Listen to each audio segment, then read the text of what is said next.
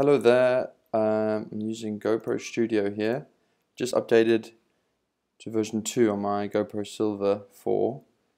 I've got the latest version 254.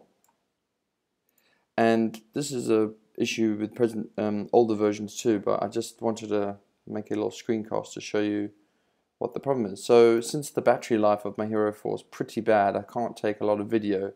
So what I do is take time lapses instead.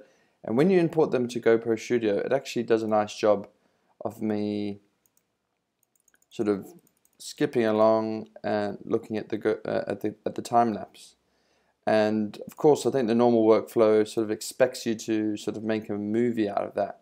But instead, what I like to do is just find shots that I like and and um, and uh, upload them to Flickr. So like, just pretend I like this shot. If I right click, I was hoping to see sort of reveal in Finder.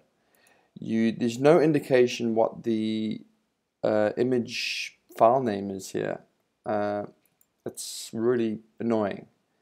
Uh, the image file name down here is, is just wrong. Uh, I, I mean, maybe there's a way of saving it. Foobar. I don't think it, it doesn't seem to work when I tried it before. You can go here and right click and go reveal in Finder, but of course that gives you the entire list of your time lapse and there's no indication where what, what image I'm viewing here. Oh dear. So yeah, um, what what else can I do? I can maybe use CoverFlow, which is really horrible, um, to find the image I want. And as I as I mentioned, I I just uh, drag and drop them onto onto Flickr and upload once I've, I've selected the ones I want. But anyway, GoPro Studio doesn't seem to facilitate this workflow, and I wish it did. So hopefully, GoPro engineers can uh, look at this and and help me out here, huh?